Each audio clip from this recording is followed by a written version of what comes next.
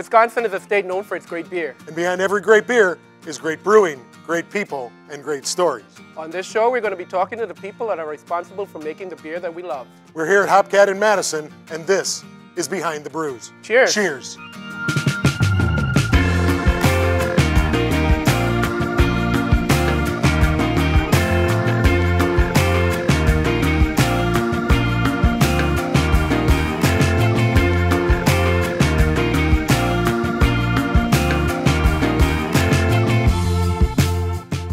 Hi, I'm Fred Swanson. With me, as always, is my buddy Mark Alfred, and we're here at Capital Brewery in Middleton, Wisconsin. The Capital Brewery has always been one of Wisconsin's leaders in the industry, and they remain committed to great beer. They're known for their lagers, but they're much more than that. Ashley Kinart-Short is going to show us around, tell us some stories, and we're going to have a beer or two. Let's go inside and talk. Ashley, thank you for having us here today. Working at a brewery, something that um, everything that you thought it would be? Um, everything and then some. We kind of have a little joke like, so you want to be a brewer, huh? And some of those very, very long days that nothing is going as planned, but um, it's, uh, it's been a wild ride. What were some of the challenges that you faced coming in after one of the most storied individuals in Wisconsin craft beer? Um, it definitely was more of a, just a position to be promoted up into. It was, it was assuming a role. You're the face of the brewery. You are person who's out there who I, I hope people think of when they think Capital Brewery. And so um, it, it, was a, yeah, definitely a, a, large role to fill, but um, I, I, I, was very honored to even be offered the position. So um, it's, uh, I, definitely have to step it up and, and try to, yeah, try to, try to fill it up as much as I can. Do you feel that you're under any additional pressure to succeed as far as leading the direction of Capital from a brewing perspective? Walking into a company that's been around for um, almost 30 years at the time, um, it, you have a kind of a, a, moving force that's already in motion. Um, so you don't necessarily want to kind of completely change the direction of that force, of that movement. Big pressure to uh, just to keep that going, but also to, to kind of take it and make it my own. So. Tell us more about the new changes that are happening here at Capital with the smaller brew system, the increased uh, square footage on the tap room, so much fun new stuff coming up. Um, the, the bar should be open very shortly and so in kind of open up our inside space. It actually used to be our grain storage, so we're going to keep the same name, calling it the grain room. So that'll be a cool space that I'm actually hoping to do some, a little bit more kind of tasting classes and some other kind of learning and other kind of extra opportunities for people to come in and drink beer and have some fun.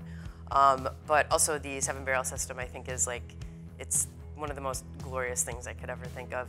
I'm very, very excited to kind of get outside the box, get outside of the, the comfort zone, um, and really get to play around. It's, I, I can't imagine a, uh, a, a, better situation for a brewmaster to, to get to really do something really, really fun. Give us an idea of what might be coming off that seven barrel system as far as thoughts and things that you've already talked about with regards to beer style.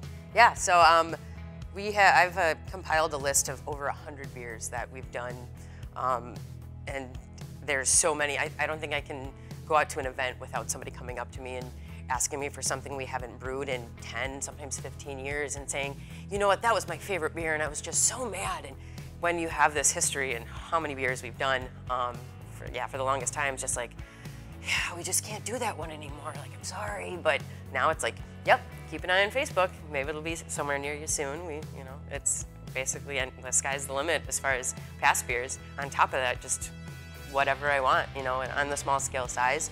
I think I'm going to do a lot more ales, some really nice, just crisp, session, easy drinking beers. I think that's going to be a mainstay. So I think uh, between a some old school throwback style, a nice session ale, and then something else fun and funky, and it, it gives me a good mix to play with. But we, we won't get too far from our roots. What is the style that you're most excited about brewing? I think and I've been doing a little bit of teaching of a small brewing class um, with Madison College, and kind of the home, the guy at the homebrew shop laughed at me, and I said I was picking up some ale yeast, and he kind of laughed like, "Do you even know how to brew ales?" And it's like that, like that's fair. I, I get it, that's fair. Um, but I kind of had some questions. I was like, "Oh, I, I guess I don't know as much about brewing ales and brewing lagers, and a couple of these just little questions or little things that like I wasn't really necessarily thinking about, but like, oh, I, I, guess I'm so not used to ale yeast, just kind of the smelling it the first couple days after fermentation. All these little, little tiny things that in my head, it was just, ah, that's no big deal. Like it's, it's just beer we're brewing, but I think I'm most excited to just play around with different yeast strains and I think that will, there's the, an endless world of possibilities and on the amount of flavors and styles and yeah, a lot of it starts with the yeast, so. In a male-dominated industry, do you find it difficult to get your ideas as well as your um, perspective across to your peers? Do you find any difficulty with that? I don't think so. Um, if anything, I think being a female kind of gave me a little more of an in or opened a few more doors. It's, it's not even about having a male or a female. In terms of just applications and resumes that I receive, it is a very, very, very small fraction that are actually women who want to work on the production side. Um, so I think, if anything, sometimes being a woman actually was like, oh wow, I get 10 homebrewer nerds a day come in, want to, you know, hey, I want to work in a brewery. But being a girl nerd homebrewer walking in, there's um, a whole bunch of people who let me just come in and shadow their brewery. And so before I even knew that this is what I wanted to do for a living and really kind of make a career out of it, back in the day, Kirby had me come on in into Capital and yeah, whatever you want, just come hang out, follow the guys around for a day, check everything out. Um, Tyranena, Pearl Street, Potosi, everybody was just so, so, so welcoming. And there's, there's always the like, good for you. like, you're so brave. Like, come on, like, I'm not trying to like break the chains or anything. So I think that's a, another big, like, I'm, I'm not trying to make a statement or do something. I'm, I just wanted to make beer, and, and that's where I am. And Ash, what is your nickname for your own personal office? Um, we call my office the PC Free Zone.